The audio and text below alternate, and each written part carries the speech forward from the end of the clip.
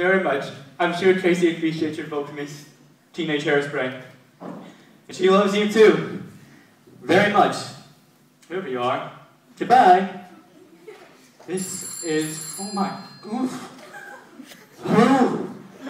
What am I wearing? Suppose nothing's in the house dress. What are you wearing? Look.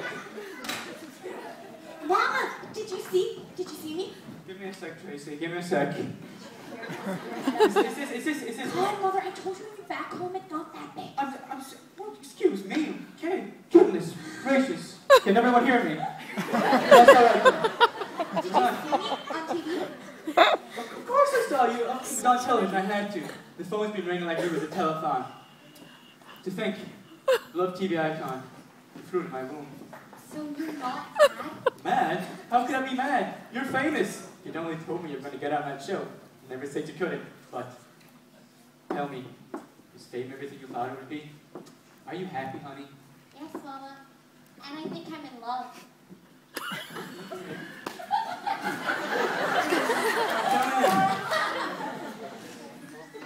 Saw that hairspray. I'm in love, Mama. Oh, yeah, I know, I've been following. But you and I went a little talk about the crooners. We can learn a lot from the mistakes of Debbie Reynolds. And there it goes again. Hello? Yes, this is Tracy Turnblad. Oh, hello, Mr. Pinky.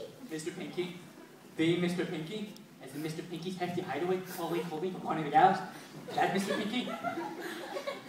You want to hire me as your exclusive spokesgirl of fashion Pinky? No idea. Well, that's very flattering, Mr. Pinky. But I'm afraid all business must go through my agent. Okay, we'll be right over. Goodbye. An agent? I don't know any agents.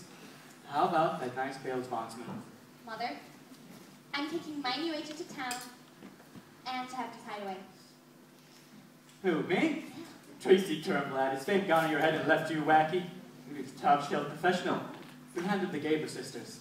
Well, who didn't? Um, Mother, there's a great big world out there I know nothing about. And when times get rough, a girl needs her mother.